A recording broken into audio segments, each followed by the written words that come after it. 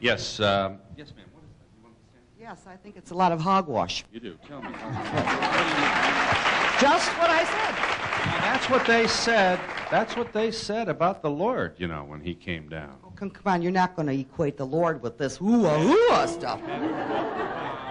We chanted, huh? Uh, has there ever been a rel- now? Gee. Has there ever been a religion that we didn't laugh at, make fun of, ridicule? Well, think about it. Remember the Shakers in England? You know they used to shake. They threw them in jail. Threw them in jail. The thing I like to so? say is, don't knock what you haven't tried. Once you've tried a healing and it's worked, then suddenly, you know, you begin to understand what we're doing. Yvonne and Gavin Frost are witches, and they've been joined by Professor Walter Martin. We've asked uh, Professor Martin to be here. You are director of Christian Research Institute, uh, which is, uh, which is. what does the institute do?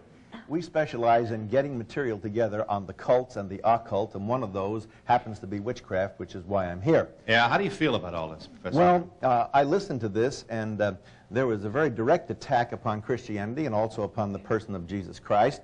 And that has been historically the case in the conflict between witchcraft and Christianity.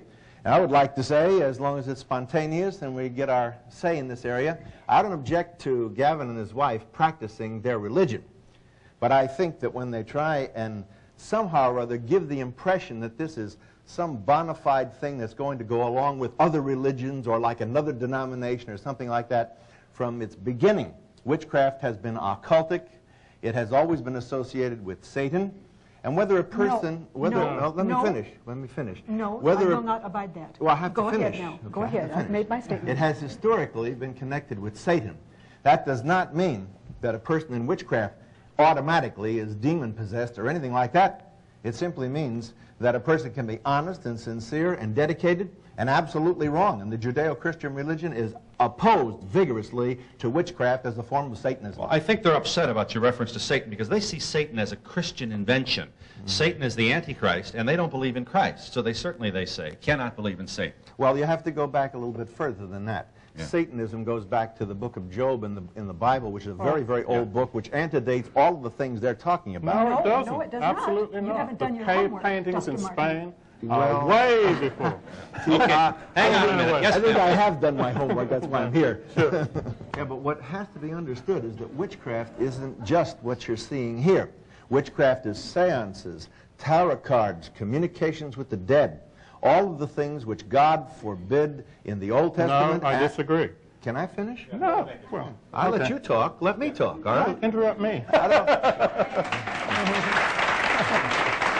I don't want to interrupt you. I just want to be courteous. All The fact We're is, trying to be courteous. the fact is that witchcraft is not just we over a candle and uh, the altar and the bell and the book and all the rest of the things associated with it.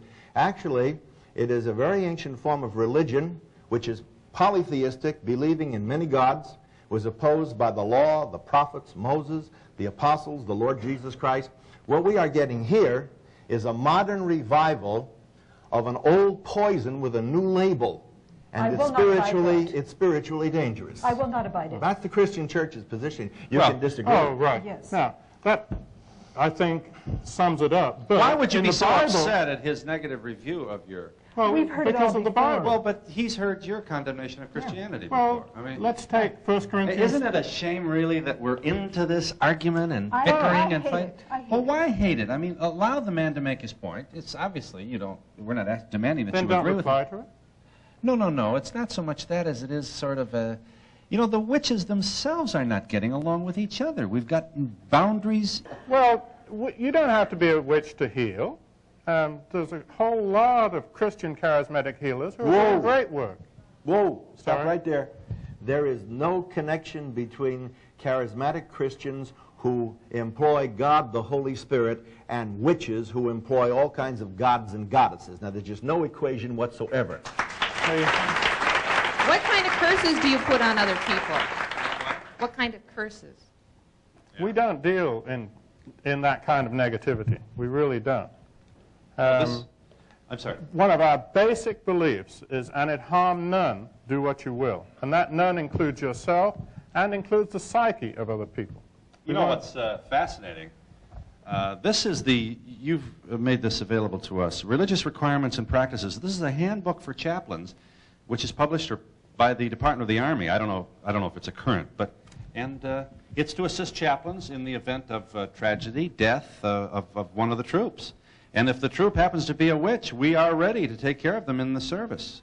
Uh, the American Council of Witches, there's an explanation of what witchery is, what a Wicca is, what a coven is, and uh, what kind of burial is preferred.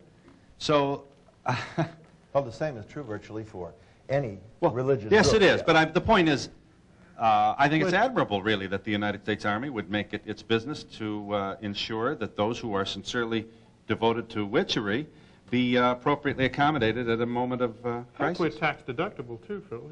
You are, literally, you are. I don't think anybody, I think anybody wants to restrict, as an American, the right of a person to be a witch or practice any other religion they want. Right. What we object to, at least in Christianity and Judaism, is any attempt to make it look as if there's any agreement or that this has not its ground in satanic power. Because Anton LaVey of the First Church of Satan, I think he was on Yeah. your program one time. Yeah, long He time ago. said, and I agree with him, he said, really, there's only witchcraft. He said, black and white is a misnomer. There's only two poles of power. Either it is God or it is the devil. God has nothing to do with witchcraft. Well, we Yeah. totally disagree, and we don't Oh, yes. LaVey But is a give them the opportunity to disagree. Yeah. Is the caller there? Yes, I'm the caller. Yes, go ahead. I thoroughly uh, believe that these people are of the devil, of Satan. Really? I believe in Jesus Christ and God. If they had once mentioned Yeah.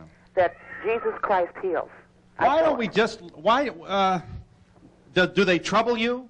Oh, I think it's a disgrace. I Well, what's going um, to happen? What will happen? Outside of your baby not being fed uh, while you're talking to The babysitter. Yeah, uh, are you praying for these folks? Uh, I pray for everyone. I see. Everyone. Yeah. But you really feel that they are emissaries of the devil. The devil has sent them. Is that it? I believe that. Yeah. Satan. Okay. I appreciate your call. Okay. I thank you.